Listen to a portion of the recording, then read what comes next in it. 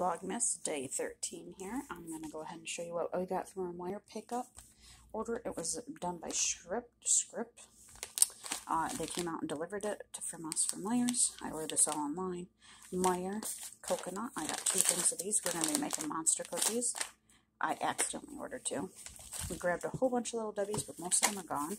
We're like on no sleep mode again. If you follow my videos, you know my two and a half year old does not sleep very good. We grabbed Reese's peanut butter cups to put in the chocolate chip cookies. I already have some sweet chocolate chips from Sam's Club. We got M&M's, milk chocolate bacon bits. I also got Hershey Kisses, but I don't know if I'm going to plop them on top or not. I got some of this for grown-up salad. You put Italian dressing in it, broccoli, cauliflower, carrots, and sliced diced up ham. Oh, so yummy. I got this um, this is a substitute. I make meatloaf with it, so I throw the whole thing in there with the hamburger and a little salt and pepper and onions and celery, and my husband seems to love that. I grabbed three things of tangy bacon Catalina just to have on hand. It's already snowed here, and this mama don't drive on the snow. This is garlic bread that needs to be tossed for my son. Here's the Italian dressing. We also love zesty Italian chicken, too.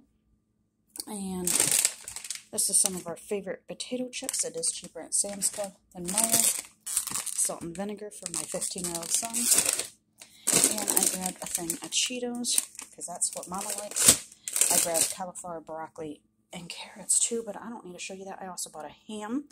They were 89 cents this week. I also bought a pineapple. Let me see if I can get back here to grab it. Here's my pineapple. That was also on sale, but it's cheaper this week at Meijers. Pop is also $5.99 at Meijers this week. Trying to think if there's anything else. I bought little cocktails and croissant rolls. We're going to have little, those cocktail croissant roll hot dog thingies. I bought a package of hot dogs, but we already ate that for dinner last night with mac and cheese. And hamburger was $1.99 for 80.20.